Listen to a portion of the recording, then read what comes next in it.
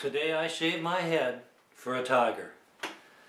This morning at 10.30, I'm getting my hair cut and I'm taking her right down to the studs. And then I'm coming home and making a $500 donation to the World Wildlife Fund. I challenge someone, anyone, to do the same.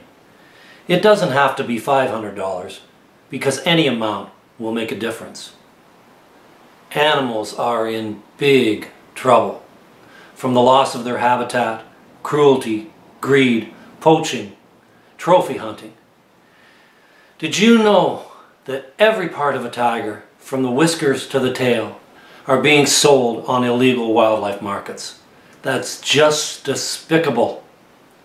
And if I don't help, and if you don't help, no one does. Well, I'm back. I don't know if I'm beautiful, but I'm bald.